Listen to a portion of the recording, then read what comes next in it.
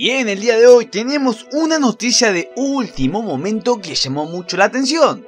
Como no podía ser de otra manera, tenemos que hablar del increíble y tremendo casamiento de Ricky Montaner y Steffi Redman.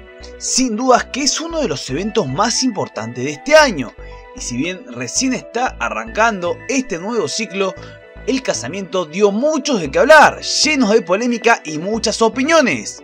Pero hoy vamos a hablar del horrible gesto que hizo Eva Luna. ¿Querés verlo? Quédate con nosotros viendo este video.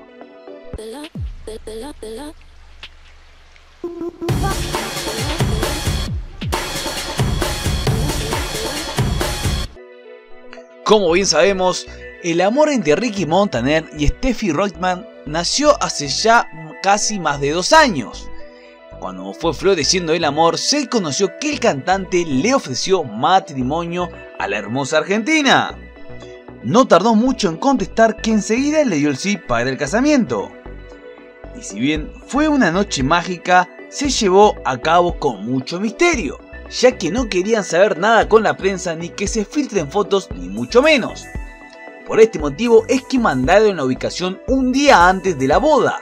Si bien las invitaciones ya estaban repartidas, ninguna invitación tenía la dirección exacta de dónde iba a ser el casamiento.